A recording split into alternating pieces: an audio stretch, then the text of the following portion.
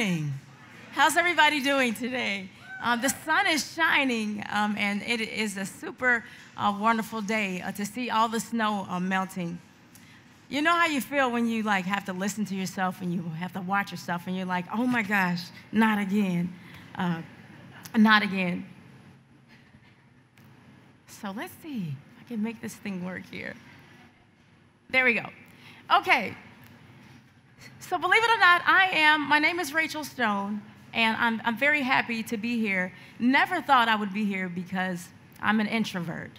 I know that may be hard to believe. Um, and so these GIFs here, they represent how I feel right now. A lot of times when I'm, when I'm asked to speak, I feel like that, that first one, you know, the youngin' from Home Alone, and it's like, oh my God, no. But when I think about life being about purpose, um, it, it, it changes. Today is not about me, and I want to preach to you. I may, you may not even hear anything that you, you've heard, and haven't heard before. I just want to inspire you. And if I can inspire one person today to leave out those doors a different way than what they walked in, maybe you're, you're, you're at a crossroad in your life. Maybe you have an idea that you're thinking about, you know, moving on. Maybe you're in between career choices. Maybe you're thinking about starting a business or leaving a job. Whatever it is, if I can inspire you to go out and make it happen, then my job is done. I'm super excited to be here to talk about inclusion because it's a big part of who I am and the work that I've done in the community. Inclusion to me, the term, it captures unity. And in, in, in one word, it means all embracing. So we know society and, and social media, you know, has a big influence on who we are. It paints a picture of what success is, how we should act, what we should wear, who we should be friends with, what we should follow. But what about everyone else who just wants to be themselves? What about all the unique, different, distinctive, and creatives? So here's a picture that represents Rachel. I am a woman of many hats. I, I have many different roles.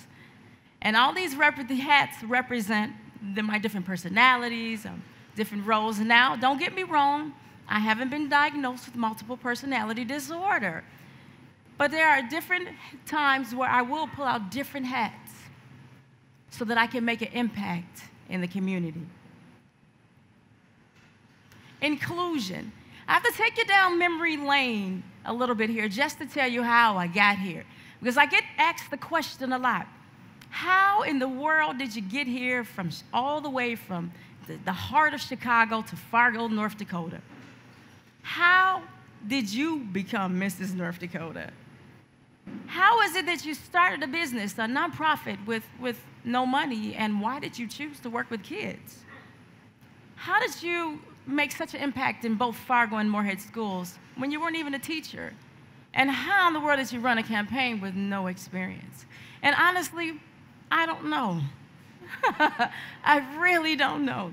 But there are a few things that I've learned in my journey, and I just want to share with you. So I started in a family. I'm a PK, as you heard in my bio. I'm a pastor's kid, and I was born into a family uh, of, of five very, very, very, very uh, religious. We couldn't wear pants and no makeup, couldn't listen to secular music, none of that, or you were going down to a place far below. Also, we were really, really, really involved in the church. Every Monday night for Monday night prayer, every Wednesday for Bible study, every Friday for youth service. Saturday was choir rehearsal, and Sunday was, was morning service, which would eventually turn into two services because we had missionary service. There were lots of expectations on me. How many firstborns do we have in the crowd? Yeah. So you understand where I'm coming from. Lots of expectations that was placed on me. I had to represent the, the, the, church, and, and I, I couldn't do any wrong, and I had to be the perfect example for, for my sisters and brothers, you know. And, and so I had a lot of expectations held on me, and it, it, it, bothered me. I developed this sense of, of being afraid to fail. I, did, I didn't want to let anybody down. And I always asked the question to God, because I was born in church, you know, Lord, why, why me? You know, why is this my life? Why? I just want to be normal. How come I can't uh, participate in after, after school activities? We weren't allowed to, to go to the school games and, and, and, and be part of theater and, you know, different uh, speech. We, I had such a different life, and it, it really took a toll because I wanted to be accepted for who I was, and I didn't want all the responsibility that I had on my life. But even though I hated to go to church, and I didn't get along with my dad, one thing he taught me that stuck with me throughout the years always pray, and that life is about purpose and helping others. And that always stuck with me. So, inclusion to me, it means not being afraid to face your fears and step out of your comfort zone. So I, so I got married. This is my family. I got married. I got, had kids. And a few years later, I moved to Fargo, the Arctic freeze. The Arctic freeze. I never thought I'd end up uh, in Fargo, the Arctic freeze. And I felt myself again, those, those feelings of uh, not knowing anyone, being alone, uh, by myself, depression, stuff uh, that I was dealing with. I felt that tried to creep up on me. But I always learned that when I took the focus off myself and got involved, that always did the trick. So I started volunteering at different organizations. I took a liking to, to Head Start and got involved in my child's um, education. I joined the parent committee there and, and I, I became part of United Way and just giving back. And it was at one of those organizations that a local agency saw me and asked me to run. Um, not run, but to, to, be, to model at their agency. I'm like, really? Modeling me? So I started modeling, and we started, and I did a show at the Fargo Dome. And the state directors of the international pageant saw me. And they asked me, you know, we, we think you should run for Mrs. North Dakota. And I'm like, really? I, uh, me? No, I don't, I, don't, I, don't, I don't know. I don't, I don't have any pageant experience. I, I, I don't know anything about pageants. But I had a love for young people because it doesn't take a lot. All it takes is a heart for someone else. So I saw it as a perfect opportunity, and I ran for Mrs. North Dakota, and I lost. But it taught me tons of things about who I was. It showed me a lot of things about who I was, my strong and weaknesses. And it made me confident because remember, I told you I was afraid to fail. Well, not anymore. I ran again. And wouldn't you know it, I won. I could not believe it. I, I, be, I, be, I made history when I became Mrs. North Dakota. Oh my God, life just took off for me. Doors all over the place started to open. And, and, and I was I wowed myself. I had uh, opportunities to, to, to, to, to travel and to speak at the parades and, and, and, and do lots of things in the community, but it was the schools that really made a difference. I saw myself in those kids. I, I found my purpose. My purpose started to, to come more to the light. Oh, but I'm doing my thing. I'm modeling and I'm, I'm looking good now. I, am I'm, I'm living the dream. I, I, always wanted to travel and model um, when I was young. I, I, I, started traveling. I went to Florida, and, and then one, next month I was in Atlanta for a show, and, and then Chicago, and even made it all the way to Hollywood. Inclusion is not just a they issue, it's an us issue. I still felt this emptiness inside. Even though I was living the dream, nothing compared to that feeling I had when I was in the schools. Inclusion also means losing your ego. Okay, so I needed to get into the schools. I have to, I have to get that feeling back of making an impact. So I applied for a job at Madison Elementary, actually just for the Fargo public school system, and no jobs became available. But all of a sudden, there was a job that did come available. You know what it was? The lunch lady. So I said, Oh my goodness, there's a job, they're hiring for a lunch lady. And I, I started to weigh this thing. Hmm, lunch lady, Mrs. North Dakota. I don't know if Mrs. North Dakota should be you know, hmm, let's see, uh, mopping floors, Mrs. North Dakota, traveling, wiping tables, serving nuggets and fries, uh, traveling. Eh, I don't know if I, but I did. I ended up becoming the lunch lady um, because it wasn't about my ego. That didn't matter anymore.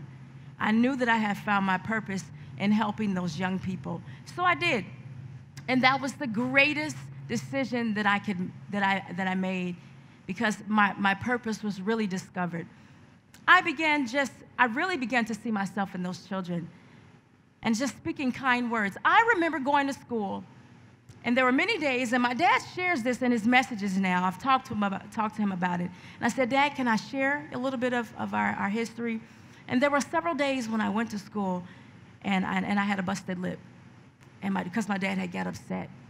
I saw myself in those kids. There were I recognized that our kids were hurting. And so I began to just encourage them, honey, it's going to be okay. And, and Miss Rachel loves you. And, and there's hope for you. And, and the, the, the, boys were superheroes, right? And, and the girls were princesses. And I would call them all that. And they're like, Miss Rachel, you're so beautiful. Even in my the bonnet that I had on, I was still beautiful. And I'm like, really? Okay.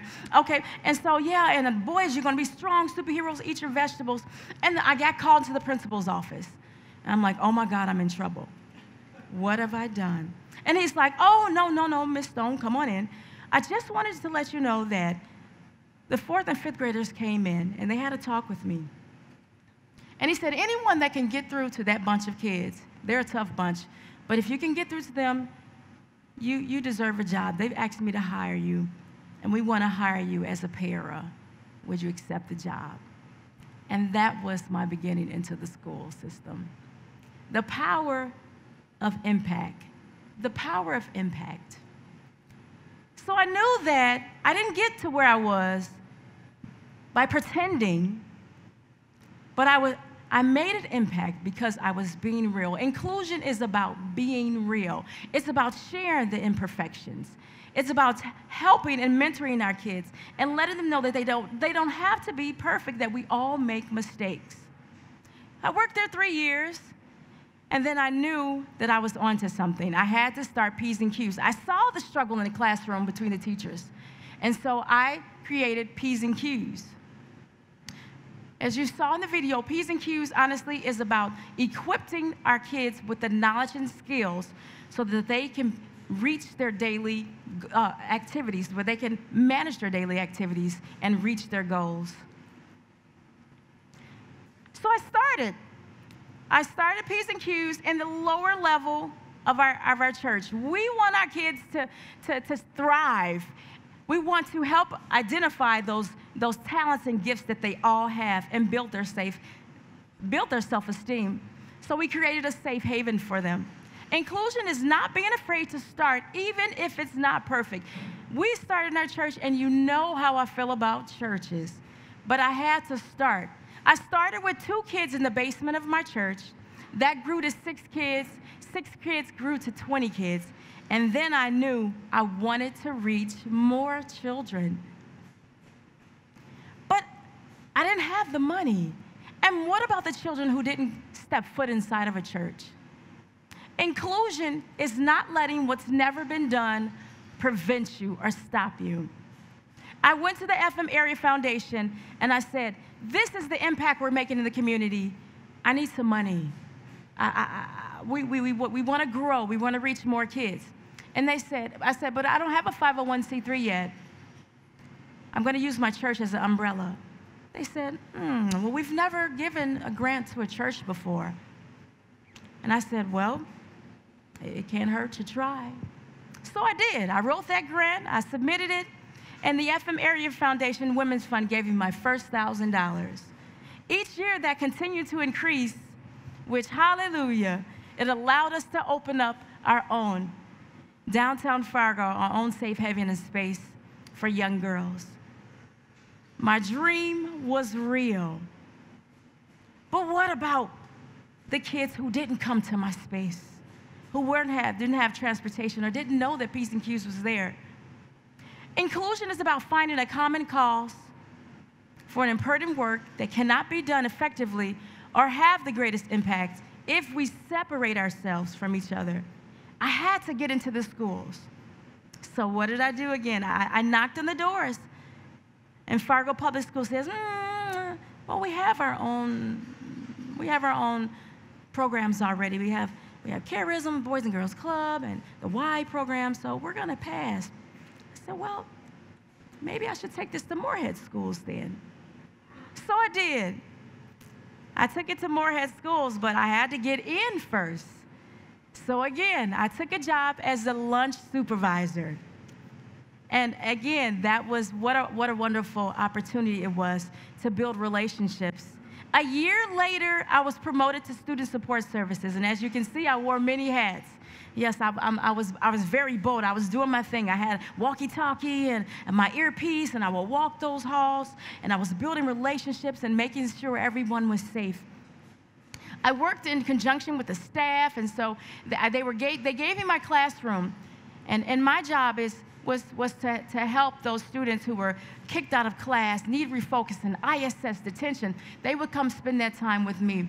And I was able to talk with them and, and help them to make better choices and get down to the root of those issues that were uh, preventing them from getting the benefits of their education. I was given my own classroom. The kids started to purposely get kicked out of class just so they can come down to that classroom. I'm like, oh no, this, this is going wrong. Oh, I'm gonna, I'm gonna get in trouble here. No, this can't, this can't happen. We even had to put a lock on the door just to keep them out of there. I said, okay, we can visit before, before class. So I had them draw pictures and of their goals, and I said, okay, before school starts, come on down to my classroom, and we'll have some snacks and we'll talk and we'll get your mind prepared for the day and who you're gonna combat, how to combat and, and deal with those issues, you know. But that wasn't good enough. They were now they were getting passes, bathroom passes, just to sneak to the classroom. I mean, it, I, I, said I, I have to do something here. I went in. I had a talk with the principal. This is it, Principal Larson. P's and Q's, this is a, organization or a program. It's a preventative program, help our kids reach their goals. I want to start it here, here at, at, at Horizon. And he says, you know what? We need it. Come on in. Our program, we started with seven girls. It grew to, to, to, to 38 girls, and we were busting out of there. So we were able to partner with, with community education so we, uh, to offer classes and programs um, through the school system for elementary, middle school, and high school girls. P's and Q's is about leading. It's about encouraging and empower our young people to lead, to step up and share their gifts and talents. But we knew we had to be creative in order to make this impact, especially when it comes to young people. So I had an idea. Why not create a venue for them to shine? A role modeling show. The role modeling show is simple. It's, it's about using your talents and your gifts to impact others. So, our young people, I have our, our, elementary girls, they dress up in their career wear because it's about planting seeds, helping them to see what they can be. Our seventh, eighth grade, ninth grade, 10th grade, all of our participants give, they, they give uh, presentations on their leadership skills that they've learned. It could be a dance, an inspirational dance. It could, it could be uh, dreams. It could be a bullying skip, dream boards, whatever it is that they want to share with the community. And then we pick women from all walks of life to celebrate and say, Thank you for what you're doing in our community. Please don't change. And we honor them. Remember, I told you that back at school we had lots of students who were, who were getting in trouble purposely to get down to the classroom. And I noticed that 90 plus percent were our male students. They were coming in and they were saying, Miss Rachel, you don't care about us because you got a program for the girls and you're doing all this stuff for them, but, but what about us? Don't, don't, don't you love us? Then the light clicked on. Having three sons finally started to make sense, you know. I didn't understand. I prayed for girls, and God gave me three blessings, my boys. But it started to make sense because the boys were, I was Mama Rachel to them. I had considered myself, I'm a girly girl, I'm a pageant girl. I don't know about those boys, but they were the ones asking for a program. And having three sons made sense because I had raised them. I knew the obstacles, I knew the challenges.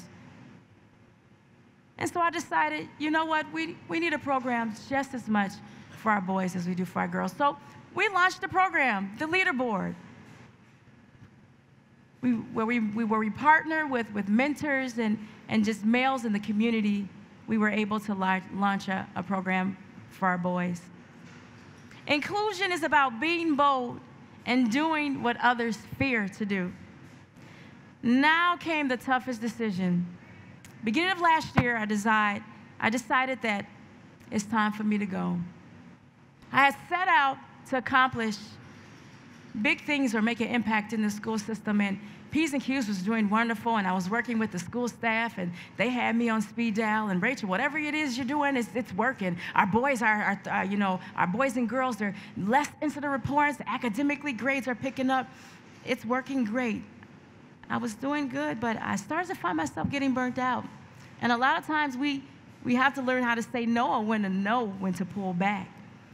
I was everything, P's and Q's. I was the, the curriculum and I was event planner, social media, and I was meeting with kids before school, during school, and after school. It was me. And I said, I, I have to go. I have to go. But it was tough. It was very tough. We had to focus more on P's and Q's and building that. But financially, I didn't know. Eventually, I did. I decided, I decided to leave. So, inclusion is about change. Sometimes we have to make those tough changes. So, a parent came to me and she says, Rachel, we love what you're doing in the community. Um, we want you to run for school board. No, ma'am. I, I, I, just, I just decided, you know, to leave the school system, my full-time job, and P's and Q's is, is, is, is doing well, and we're making our impact, and I don't, I don't think I, I don't think I should. But I knew that I had, I had heard the cry, and, and I saw many needs in the school system. I knew that changes needed to be made, and I knew that I needed to do more. So I prayed about it as I, I always do, and I talked with my husband and those that I counsel with, and I decided to run. And it was one of the toughest challenges of my life to knock all those doors and to ask people to vote for me. And, and, and I was new. I had lived 13 years in Fargo and, and just two years in Moorhead. And people really don't know me. And I don't think I can do it. And I have no experience in running a campaign. But here we are. I ran and I won. Inclusion in my in my conclusion, inclusion is about sharing our gifts, our talents, our abilities with the world. So I grew up singing in the church and I loved to sing. I heard a melody in a dream one night. Two weeks later, I went into the studio. I created a, a single, recorded it, put it on iTunes and such. It was a young girl who said, Miss Rachel, I listened to your single. I listen to your song every night before I go to bed. And when I'm feeling the loneliest, I'll pull it up and I'll, and I'll turn it on. And that let me know that I'm doing something right. Sometimes you have to be creative. And if you're a mother, you're a father up the, out there, we all love our children. We all want the best for them. And a lot of times it doesn't matter how that light bulb clicks on. We want it to click on. We don't care how. We want our kids to be successful, to thrive, to be empowered.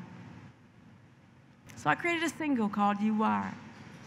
And it simply says, You are, you are, you are, you are, the air I breathe, the song I sing, yeah.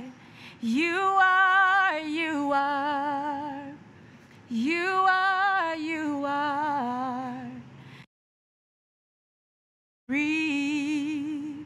the song I sing, yes, you are. Thank you.